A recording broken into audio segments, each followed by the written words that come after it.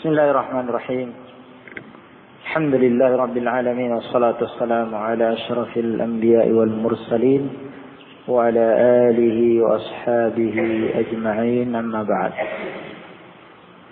يسبح لله ما في السماوات وما في الأرض الملك القدوس العزيز الحكيم. Ada asma Allah, nama Allah? Ditetapkan pada ayat ini? Coba sebutkan. Al-Malik, Al-Quddus, Al-Aziz, Al-Hakim. Kurang satu. Allah. Tayyib. Apa makna Allah? Apa makna Allah? Setiap nama Allah mengandung makna tidak? Ya, ini akidah sunnah jamaah. Setiap nama Allah mengandung makna, menunjukkan makna. Dan makna yang ditunjukkan itu adalah sifat Allah SWT. Nah, jadi nama Allah menunjukkan sifat apa? Makna apa?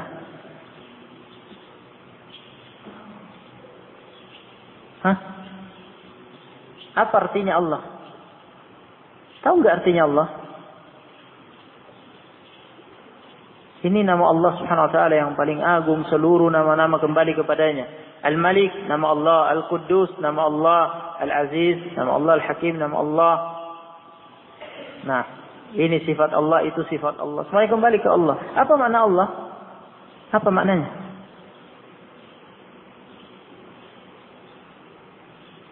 Kum, kum. Apa nama? Apa maknanya? La tadri? Tidak tahu? Nah, la tajlis. Yang tidak tahu makna Allah tidak boleh duduk sebelum mendengar jawabannya. Hah?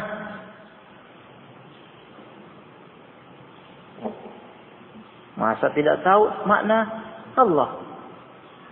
Allah tidak tahu maknanya.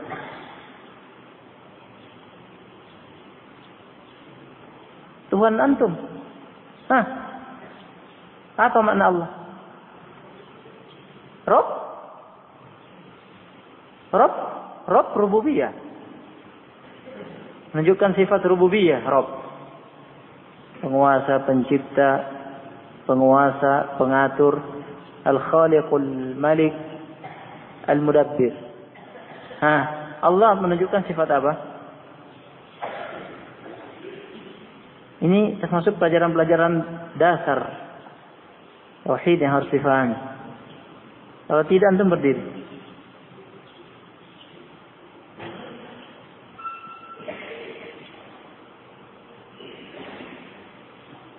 Om.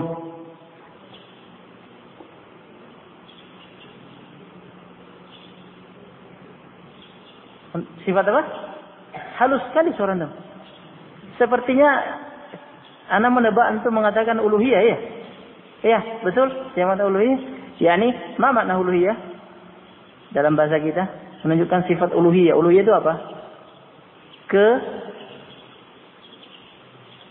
Sudah benar jawabannya. Tinggal apa dalam bahasa kita? Uluhiyah itu mak maknanya apa?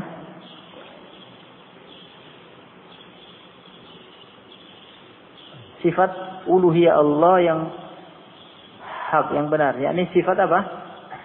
Ke Hah? Lanjutkan.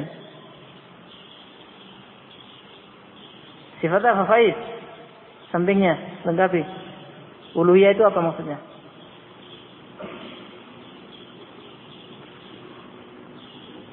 Hah?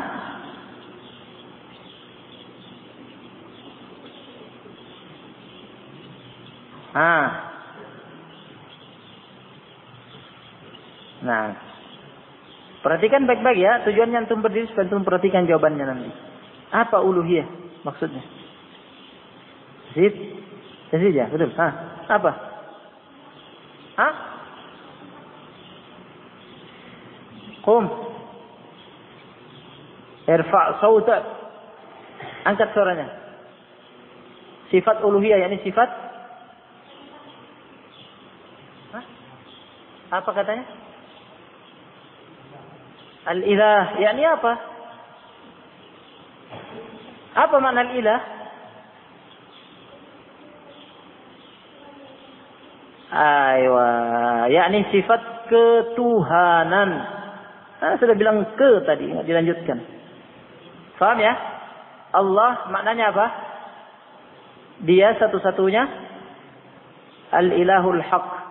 Tuhan yang maha benar yang disembah dengan benar. Ya ini menunjukkan sifat uluhiyah, ketuhanan. Kalau Rob, antum bilang tadi Rob, Rob itu sifat rububiyah. Rob itu artinya Al-Khaliq, pencipta, Al-Malik. Dan Al-Malik di sini apa? Penguasa, penguasa. Ya. Raja alam semesta ini, penguasa alam semesta ini. Nah. Al-Mudabbir yang mengatur alam semesta. Itu rububiyah. Rob, itu makna Rob. Allah menunjukkan sifat uluhiyah. Uluhiyah apa? Ketuhanan. Ketuhanan yang hak, yang benar. Nah, faham sekarang ya? Faham ya? Zul? Faham? Baik, jelis. Berarti apa makna wa huwa Allahu fis samawati wa fil ard? Wa huwa Allahu dialah Allahu Allah fis samawat di langit wa fil ard dan di bumi ya'lamu sirrakum wa jahrakum wa ya'lamu ma taksibun. Ha? Apakah Allah di langit? Berada di langit dan berada di bumi karena Allah mengatakan wa huwallahu dialah Allah fis samawat yang ada di langit wa fil ard yang ada di bumi begitu. Wa huwallahu dialah Allah fis samawat di langit wa fil ard di bumi berarti Allah di langit di bumi begitu? Nah, ayat ini menunjukkan makna yang kita pelajari tadi. Apa makna ayat bersih berdasarkan yang kita pelajari tadi? Hmm? Yang yang agak besar. Nah, jangan ada yang menundukkan kepala. Hmm. Syakur. Berarti apa makna ayat? Dialah Tuhan yang Tuhan yang ada di langit. Maksudnya apa? Allah. Tuhan ada di langit, ada di bumi. Jadi Allah ada di langit, ada di bumi. Jadi tihadiyah hululiyah nanti. Maksudnya apa?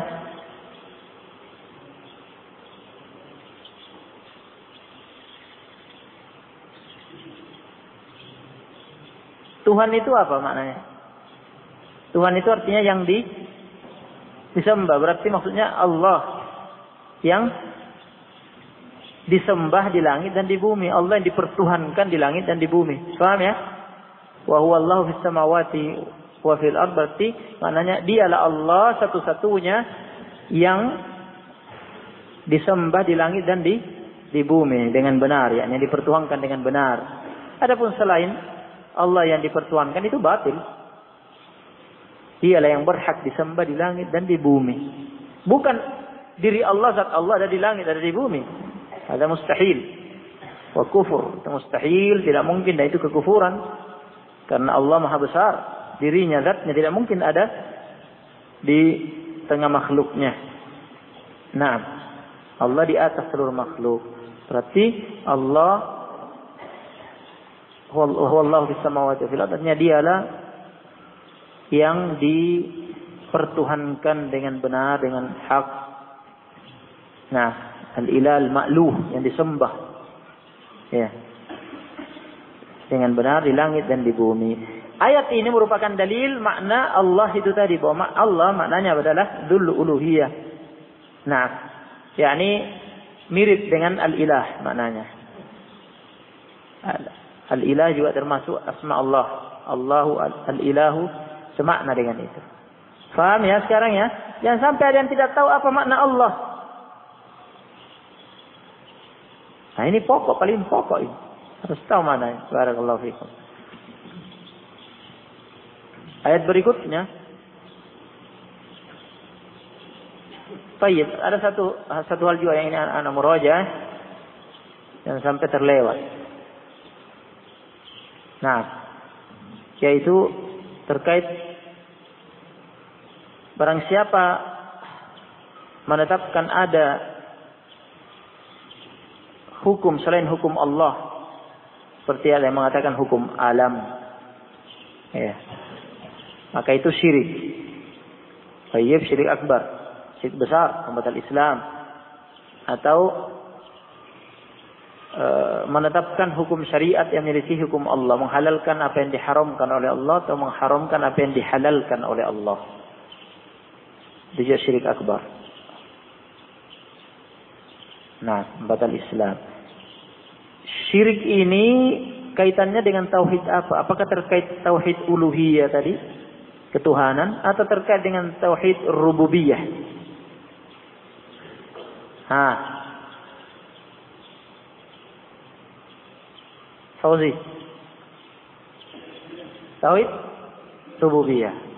Nah, tauhid rububiyah. Karena Allah adalah Rabbul Alamin. Ya. Yang mengatur alam semesta, Al-Malik, penguasa, raja alam semesta ini. Naam. Lahu malakut samawati wal ard. Kerajaan langit dan bumi miliknya. Yang namanya penguasa, raja alam semesta, penguasa alam semesta, dia mengatur. Dia menguasai dan dia mengatur. Menguasainya dan mengaturnya dengan hukumnya. Tidak ada hukum lain selain hukumnya. Inil hukmu illa lillah. Ala lahul hukm. Hukum hanya miliknya. Baik hukum kauni qadari takdir sesuai kehendaknya maupun hukum syar'i. Ya. Tayyib. Wa al-hakim yang maha bijak dalam menetapkan hukum.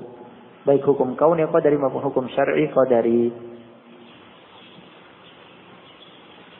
Tayyib jika mengangkat e, menyatakan ada hukum selain hukum Allah berarti dia menyekutukan Allah dalam hal menguasai langit dan bumi ini, menguasai alam semesta ini. Ada ya yang mengaturnya dengan hukumnya selain hukum dia. Berarti menyekutukan Allah dalam hal rububiyah, tauhid rububiyah. Bisa difahami? Tayyib wa huwa alladhi ba'atha fil ummiyina rasulan minhum yatlu alaihim ayatihi wa yuzakkihim ويعلمهم الكتاب والحكمة وإن كانوا من قبل لفي ضلال مبين. وآخرين منهم لما يلحقوا بهم وهو العزيز الحكيم.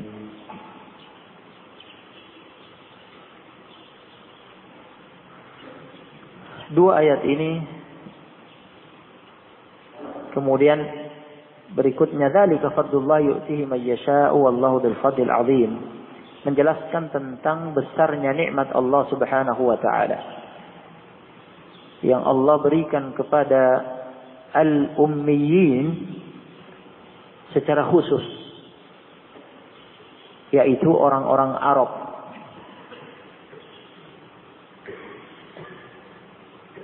Orang-orang Arab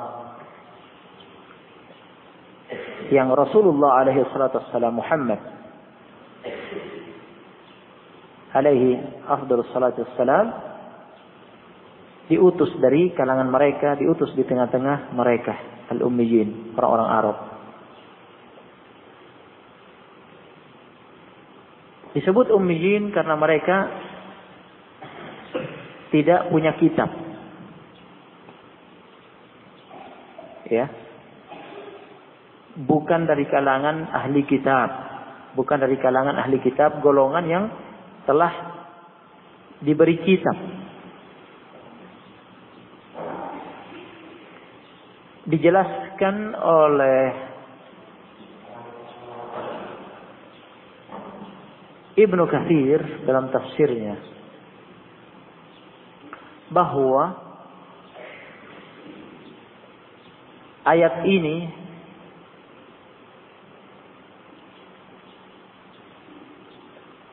merupakan bukti dikabulkannya doa Nabi Ibrahim.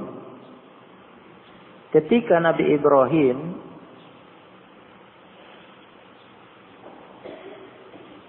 mendoakan berdoa untuk ahlu Makkah, untuk penduduk Makkah agar Allah Subhanahu wa taala mengutus di tengah-tengah mereka seorang rasul dari kalangan mereka.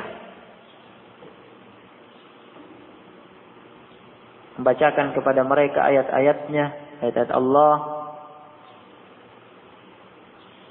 membina mereka,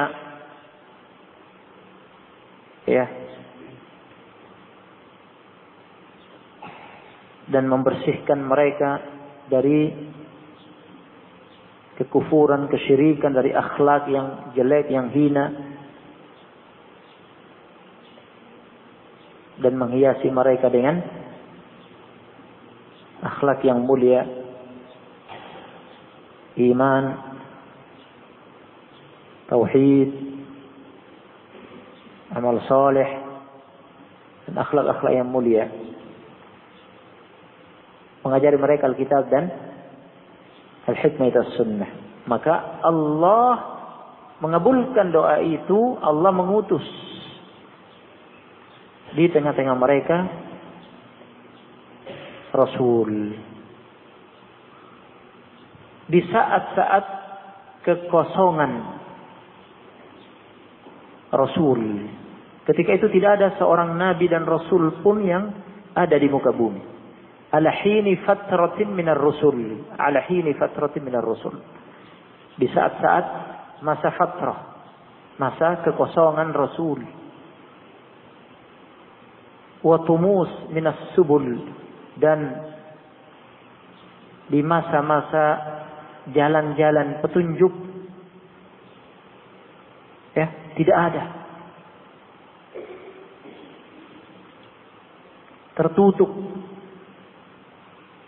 Semuanya tertutupi oleh dolalat, syirkiyat, kufriyat, dulumat. Jalan-jalan itu tertutup, ditutupi oleh kesyirikan, kekufuran, kesesatan, dolalat, syirkiyat, kesyirikan, kufriyat, kekufuran, mungkarat, kemungkaran, berbagai kemungkaran. Dulumat. Zulumat al-jahl wal zulm. Ya, kegelapan-kegelapan, kebodohan dan kedoliman. Ini yang meliputi permukaan bumi ketika itu. Pada saat-saat dibutuhkannya petunjuk.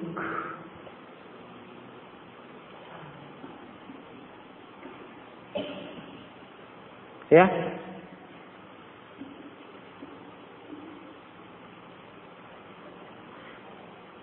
Tidak ada tersisa di muka bumi yang berpegang dengan syariat Allah, dengan agama Allah. Illa baqaya min ahli kitab.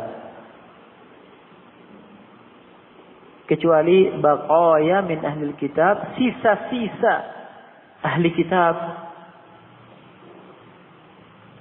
Mimman tamassaka bima ba'athallahu bi'isa ibn Maryam dari kalangan orang-orang yang masih berpegang teguh dengan ajaran Nabi Isa.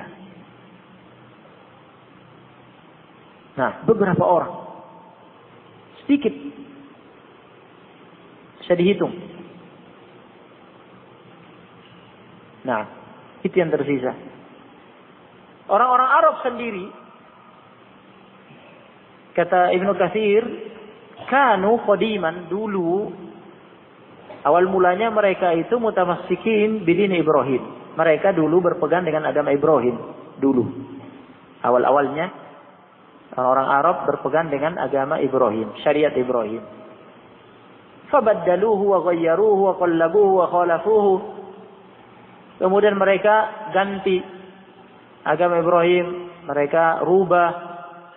Mereka bolak-balikkan. Mereka selisih wastabdalu bitauhid syirkan mereka ganti tauhid diganti dengan syirik wabil yakin syakkan keyakinan diganti dengan keraguan wabtada'u asya'a lam biha Allah dan mereka mendatangkan bid'ah bid'ah yang Allah tidak izinkan. Hancur mereka dengan itu.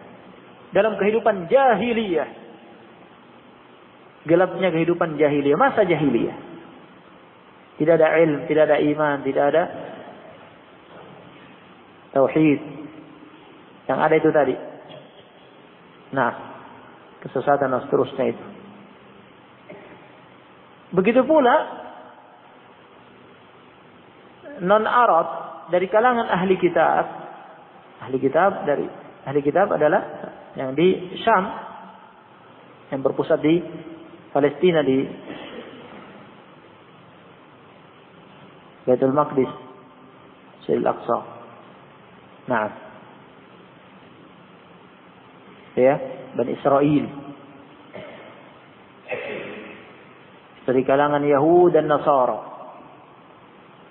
Orang-orang Yahudi yang dulunya mereka di masa Nabi Musa mereka beriman dengan kitab Taurat. Mereka disebut kaum Yahudi. Ada yang mengatakan disebut kaum Yahudi dikarenakan mereka adalah eh, pengikut ya Nabi Musa.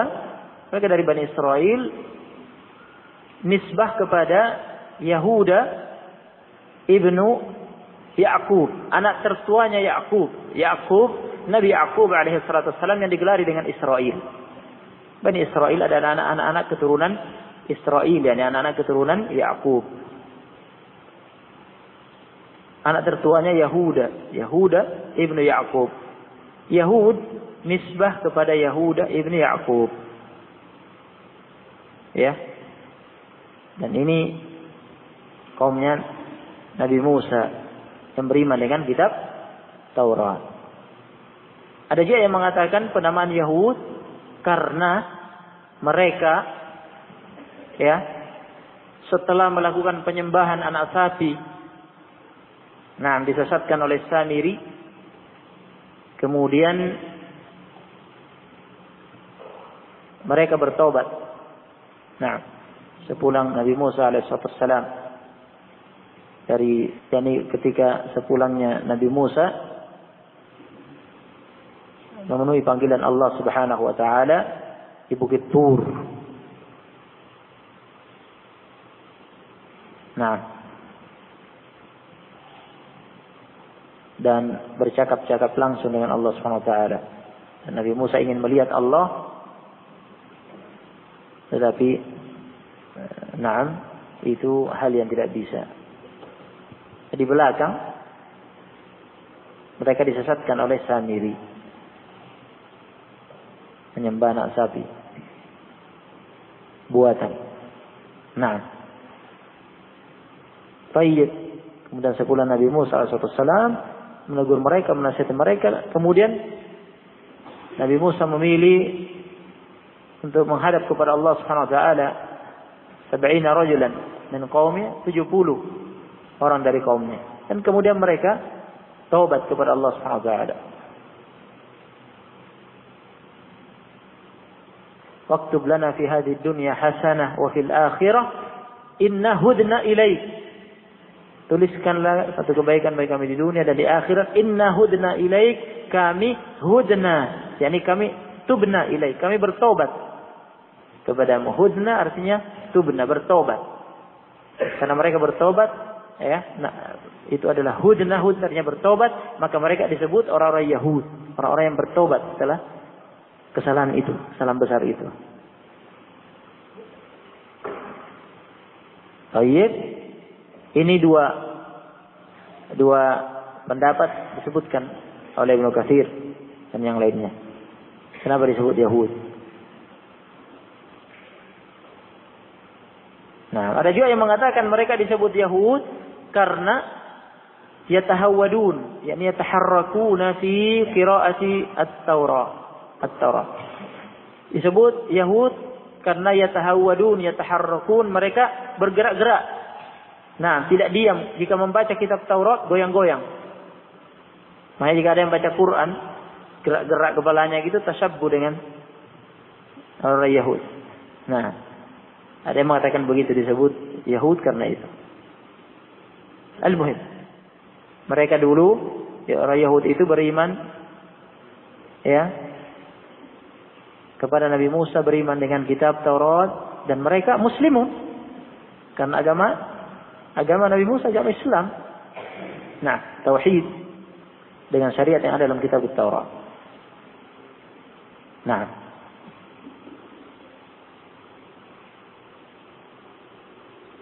begitu pula Nasara pengikut yang beriman kepada Nabi Isa. Ya. Beriman yang kitab Injil dan telah diterangkan sebelumnya penamaan Nasara. Ada yang mengatakan karena mereka adalah mengatakan nahnu ansarullah ketika di, diajak oleh Nabi Isa, man ansari ilallah, siapa yang menolongku? Nah, memperjuangkan agama Allah. Kemudian kalau al-hawariyun, al-hawariyun mengatakan nahnu ansarullah, kami penolong Allah, agama Allah. Maka disebut Nasara. Ada yang mengatakan nisbah kepada apa? Negeri tempat mereka tinggal atau negeri tempat asalnya Maryam, yaitu Nasirah. Nama tempat negerinya adalah Nasirah. Enggak disebut Nasara. Nah, mereka beriman dengan kitab Injil pengikut Nabi Isa. Namun ini tidak bertahan. Baik Yahud maupun Nasara tidak bertahan. Nah. Ya. Kemudian pada perjalanannya mereka ya baddalu kutubahum wa harrafuha wa ghayyaruha wa waluha mereka mengganti kitab-kitab mereka, mereka tahrif, palingkan, ya, selewengkan. Mereka menggantinya, men memalingkannya, merubahnya, memalsukannya. Ajarannya sudah bukan ajaran Taurat yang asli dan Injil yang asli. Akhirnya Yahud dan Nasara yang ada tersisa sampai di, di, di, diutusnya Nabi SAW adalah Yahud dan Nasara yang difonis ya kafir, musyrik dalam Al-Qur'an. Yahud mengatakan Uzair ibnullah, Uzair orang soleh dari kalangan Bani Israel adalah putra Allah. An-Nasara mengatakan Al-Masih Nabi Isa, ya, Al-Masih Isa adalah putra Allah, Al-Masih ibnullah. Kecuali ada beberapa orang sedikit. Yang masih bakoya min ahli kitab yang masih berpegang teguh dengan ajaran Nabi Isa yang murni yaitu ajaran Islam tauhid. Di antaranya ketika diutus Nabi alaihi salatu ketika diutus dari Nabi turun wahyu yang pertama. Iqra. Kemudian kembali ke rumahnya menemui Khadijah. Khadijah mengajak Nabi SAW menemui pamannya. Siapa? Warakah ibnu Naufal Warakah ibnu Naufal tanassarah dia mengikuti agama Nasrani. Ya. Dan dia menulis Injil dengan bahasa Ibrani-nya. Dengan berdasarkan ilmu yang dia ketahui dari Injil, karena dia pengikut Injil yang benar, langsung beriman kepada Nabi Muhammad SAW.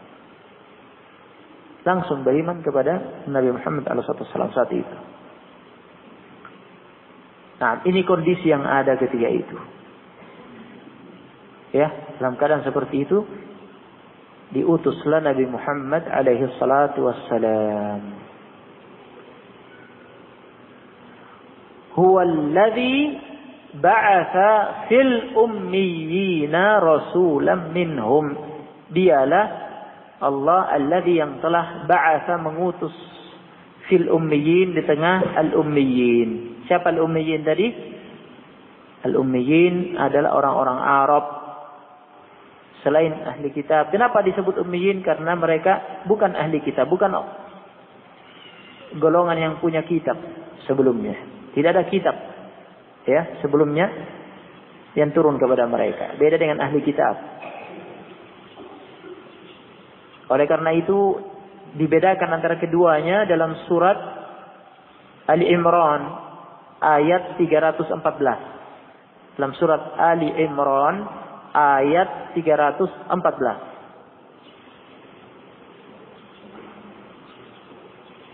Wa qul lil ladzina utul kitaba wal ummiyina Aslamtum?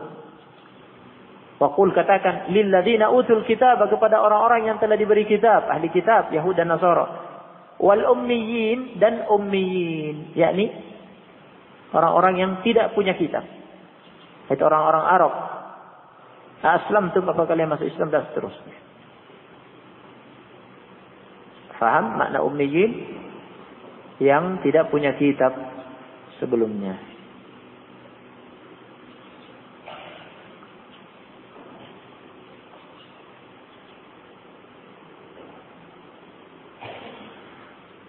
Nah, orang-orang Arab. Rasulan, seorang rasul minhum dari kalangan mereka sendiri, dari bangsa Arab sendiri. Ya. Tepatnya dari ahli Makkah, dari Quraisy. Ashrafu al-Arab. Suku yang paling mulia di kalangan bangsa Arab, Quraisy.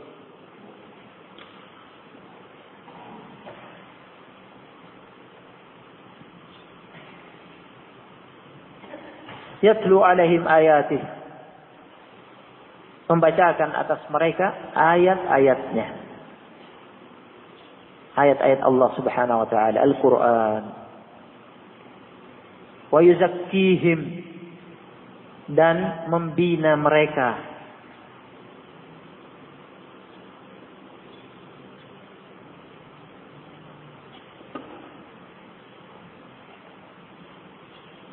Kata As-Sa'di rahimahullah dalam tafsirnya, wa yuzakkihim ay bi wa yuzakkihim membina mereka, membersihkan mereka bi ayyahussahum 'ala al-akhlaqil fadilati dengan memotivasi mereka untuk berakhlak dengan akhlak yang mulia. Wa yufas wa yufassilaha lahum. Wa yufassilaha lahum dan Nabi wasallam merincikan secara detail akhlak-akhlak yang mulia itu kepada mereka. 'anil akhlaqir radilah wa yazjurahum 'anil akhlaqir radilah dan menghardik mereka dari akhlak-akhlak yang jelek, akhlak-akhlak yang hina, yang nista.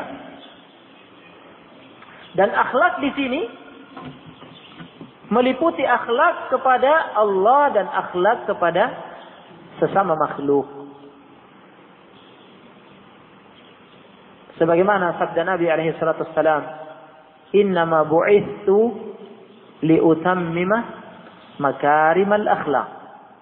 Innama bu'ithu liutammima makarimal akhlak. Hanyalah sesungguhnya aku diutus liutammima dalam rangka untuk menyempurnakan makarimal akhlak, akhlak-akhlak yang mulia.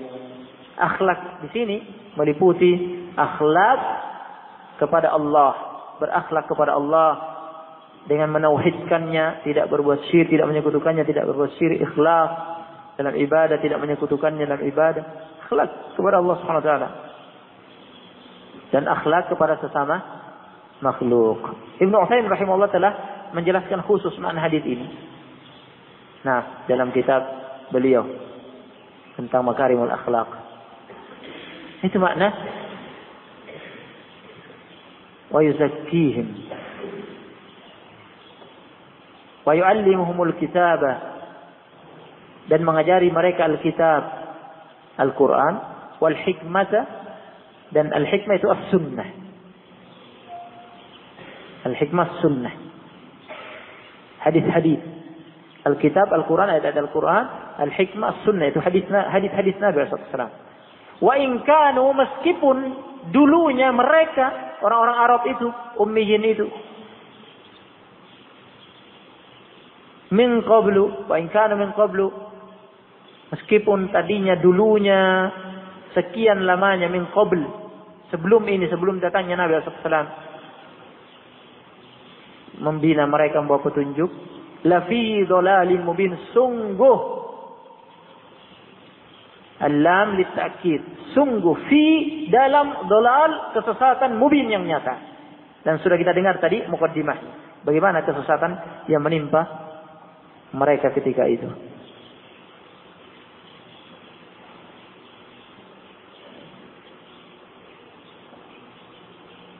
Nah, serta merta mereka berubah menjadi kaum yang berakhlak mulia, kaum yang beriman, berilmu, beramal saleh. Nah, masya Allah. Baik, sementara ini kita lanjutkan insya Allah pada pertemuan berikutnya. Fadlu. Subhanallah bihamdika la ilaha illa anta astaghfiruka wa